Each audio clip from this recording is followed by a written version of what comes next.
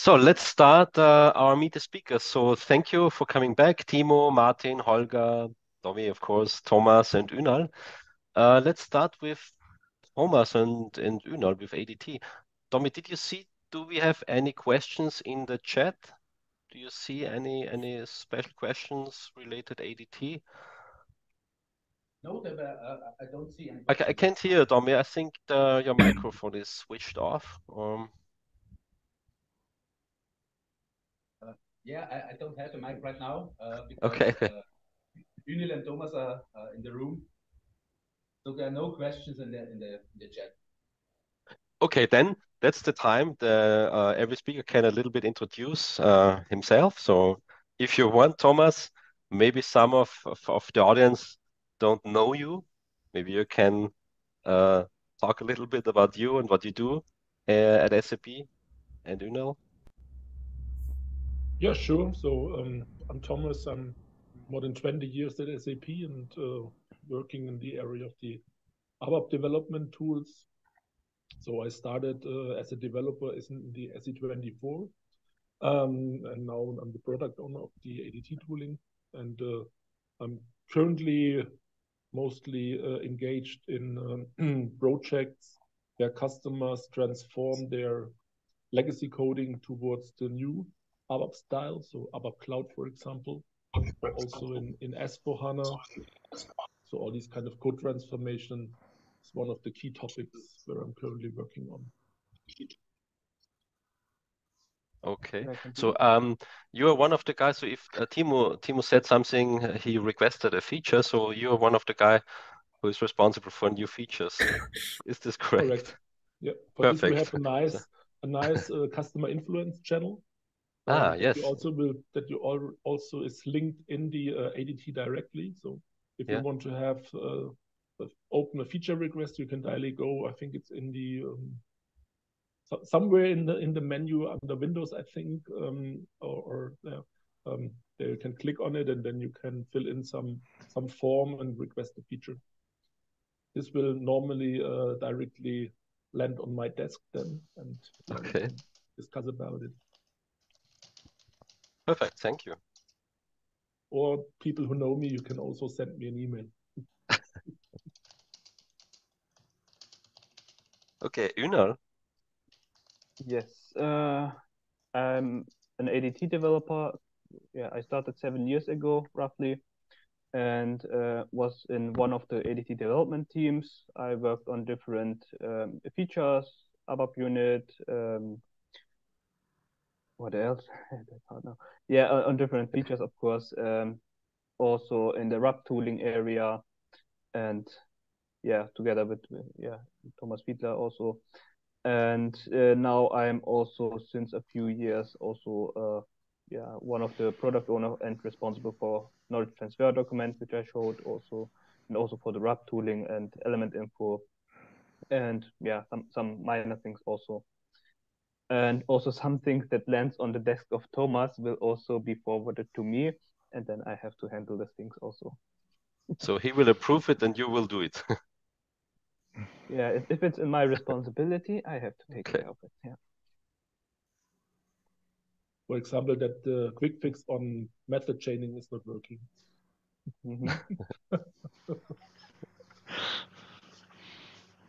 okay, I can great. provide so, a list.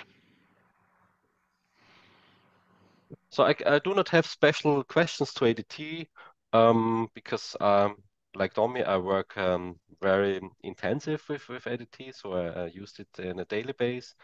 But for example, I use it nearly as it is uh, installed, so I do know it. I do know any changes. I have the standard layout, the standard theme, and so on.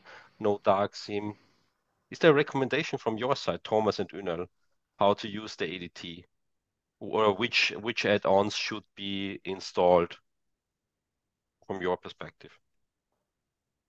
Yeah, so first of all, the, the recommendation from our side for the installation is to go via the standard Eclipse way, that you first install a fresh Eclipse installation um, and then um, install the, the ADT tools on top via the update side and keep keep you up to date also via the update side. So, you, so just recently, I think yesterday, there was a new uh, Eclipse standard version out there, so the December release.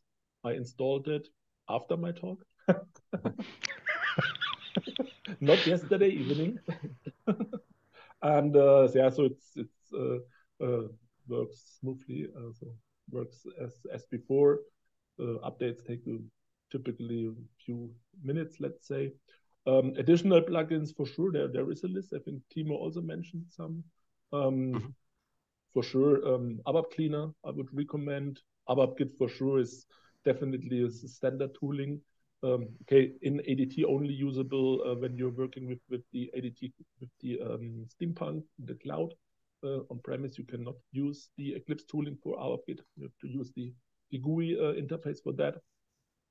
Um, so that's that's clear recommendations or other tools. Uh, last week, I think was a post about some very nice tooling in the area of uh, CDS and search um, from uh, Ludwig all these Ludwig Stockbauer-Muhr. So absolutely yeah. recommendable also to look a little bit um, outside of the SAP ADT tooling, what others uh, have provided. So concerning the yeah the, the the the setup, let's say it's really up to you. So that is right. It's very flexible. You can also uh, change uh, keyboard shortcuts or the keyword coloring. It's very flexible, but it's then also hard when uh, working on other ones' uh, desk for sure. So when, for example, the the keyboard shortcuts are different, things like that. So I don't I don't have insights how we at SAP are doing this. So it's really up to the up to the developer. So there's no no guidance, central guidance to have a standard setup or, or like this.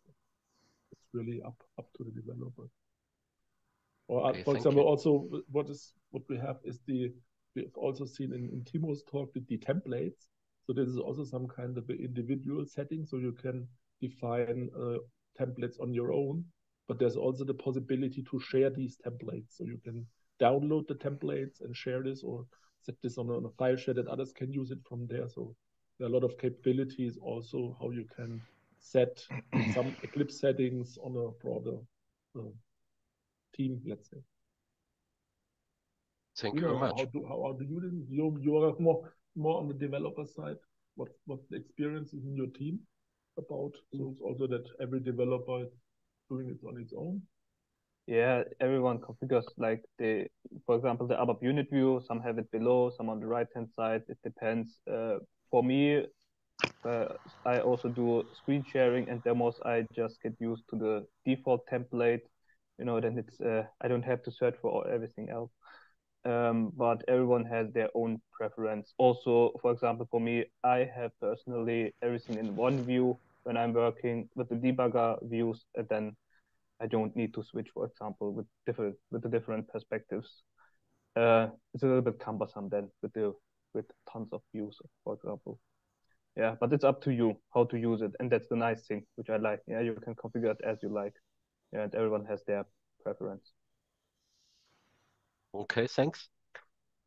Okay, um, then uh, next to the Microsoft uh, colleagues, so maybe Holger and Martin, can you also introduce a little bit uh, yourself and tell a little bit what you do at Microsoft? Sure. Let me get started. Um, yeah, so Holger Bruchelt. Um, I'm part of the product management at Microsoft. So I, I, I joined Microsoft seven years ago. Before that, I was uh, very very long time at SAP. So basically, I just switched sites. Uh, I, am still on the SAP campus, and now uh, in in Walldorf. and now I'm looking, or our team actually is is really looking at uh, how can we integrate different Microsoft services with different SAP services, and this this can be on a on a development level, like like what we showed today on on the ABAP side, but also then the integration um, in in Teams, in Microsoft 365, um, security, um, uh, integration services, events is something that is really cool where, where, we're doing a lot of work with SAP right now. So yeah, across the board integration topics.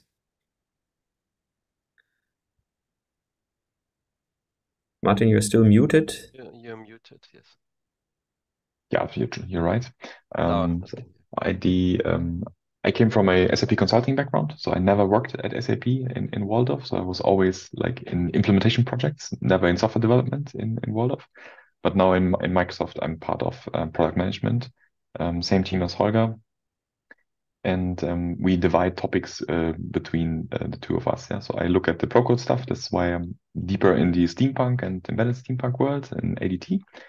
Um, and um, also the larger integration topics and always quite passionate, always working with the with DSAG in hands-on workshops. Uh, I really like um, meeting the developers and seeing how they approach the, these types of things. Yeah? For instance, there was a ABAP Developer Innovation Day with DSAG uh, at the beginning of this year, where we had like I think 50 uh, customers attended, and um, really connecting systems similar like we showed today. And it's always good to see what works, what doesn't, and um, yeah, so that's what I like most about the community spirit that we have. Yeah. Okay, thanks. Uh, Domi, uh, you're back. Do you saw any questions regarding Microsoft, uh, ABAP, SDK? No, not yet. Only uh, the Git repos uh, should be provided. So the, the links uh, okay. uh, were, were asked for the links, but uh, they are already provided uh, on the slides. So no questions. But but I have maybe a simple question. So if uh, imagine I'm um, an ABAP developer and the business comes to me and says, okay, we have Microsoft, we have I don't know SharePoint or something like, uh, please do an integration, make develop an ABAP integration. How should I start as an ABAP developer if the business comes with that question? Should I just Google for it, or is there something? What what would you recommend to to start? Mm -hmm. Well, the uh, go ahead, Holger. I think the best starting point as an ABAP developer, we have the ABAP SDK.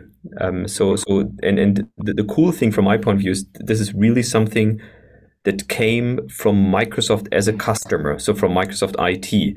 So, so Microsoft is a huge SAP customer. I think one one of the largest SAP customers in the world, and um, so we have hundreds of ABAP developers at Microsoft, and they had exactly these questions like what, what you just said. Um, so, so they were also wondering how do we integrate in SharePoint? How do we integrate in other Azure services? And um, then actually we had all these teams starting doing their own implementations, and then um, the the IT said, "Well, this doesn't work. We, we, cannot support this. This uh, this is this is a not a sustainable approach." So so they they came together and said, "Let's build one SDK with standardized logging, with standardized authentications, with standardized error handling, and so on. And then basically all of Microsoft came, uh, the ABAP developers came together and contributed to this ABAP SDK. And then it was used for many years actually internally. And then in, in a lot of EBC, so executive briefing centers, when, when we interacted with customers, customers always ask, well, how are you doing this, Microsoft? And then at some point in time, we said, well, let's release it on GitHub. So we, we took our um, our ABAP SDK. We actually then also used ABAP Git to to help with the um, with the uh, lifecycle management there uh, to to publish it and also on GitHub. And now it has been on GitHub for six years or something like that. So so so it's a fairly um, widely used um, SDK in the meantime if you want to connect to uh, to Microsoft resources and I can confirm this. This is it's uh, then it's very uh, very relatively easily easy to integrate SAP, ABAP, and for example SharePoint. And without mm-hmm. that, it's hard for an ABAP developer. Of course, you can do everything by yourself, but course, then yeah. you have to invest a lot of time and create a lot of classes and and whatever, and especially authentication, a special thing. So it's really very very helpful. Thank you for that. Cool. And I mean, it, it lives also from contributions. So, so we have a lot of colleagues. Um, Gregor Wolf, I think, contributed quite a lot. Lars contributed quite a lot to the SDK. So, so there, there are also a lot of customers that are now really contributing to the um, ABAP SDK for Azure, which is also really great to see.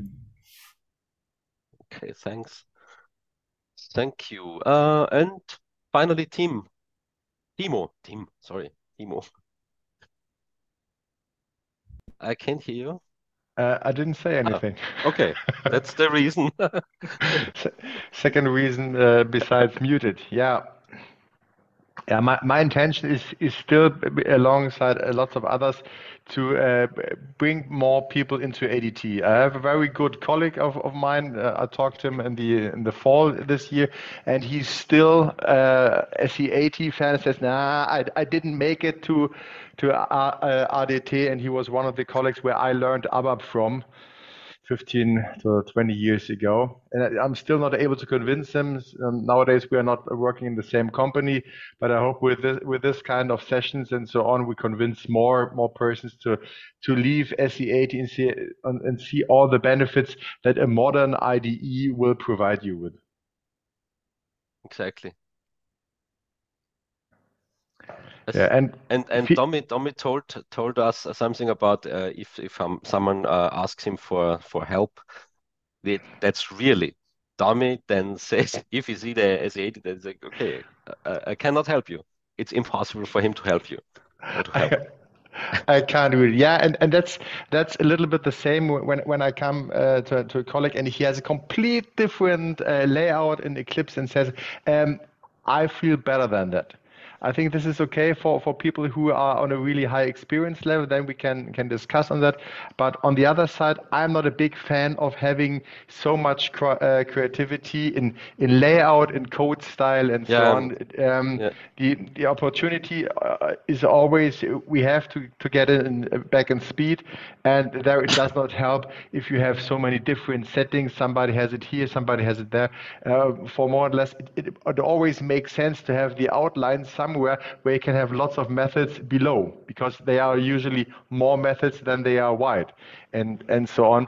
So there are some settings which might be something like an uh, ideal settings and maybe there, there is uh, there is something that that is uh, can be done in the in the initial shipment. I think Thomas, uh, you provide the ABAP perspective, and I think you you would have the opportunity to have um, pre-configurations of this perspective isn't it?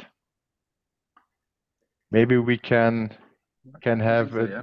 Uh, but I'm sorry, I need to interrupt you. Uh, we are uh, uh time, time, is over, and we need a short uh, lunch break. Yeah. So uh, thank you, everybody. Thank you, Timo, Holger, Martin, Danke allen. Thomas, Danke. and Unal. Thanks first. Um, we will have a short break now until 30, 30 1 p.m.